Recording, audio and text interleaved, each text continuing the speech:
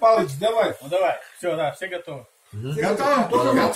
так. Это, Галя, Про объясняй. ворону поем, что ли? Нет. Басня про меня. Басня про меня. Все молчим. Серега к старости ослаб мозгами. Тихо. Но образ- наслышал он от образованной мартышки с отличием закончившей УПИ, что стоит завести очки, и сразу просветление настанет, и заработают мозги, а там и продвижение по службе. Серега, думая, что это мудро, на серебристой джете отправился в аптеку. Купил очки, надел, а толку нету. Кто к темени прижмет их, кто их в трусы засунет,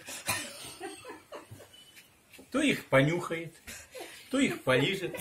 Все проку нет, нет в мозге просветления.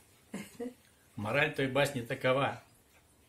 Хоть, хоть хочешь мудрым быть до старости, то в юности в МИФИ учиться надо. Чтоб не нужны были очки.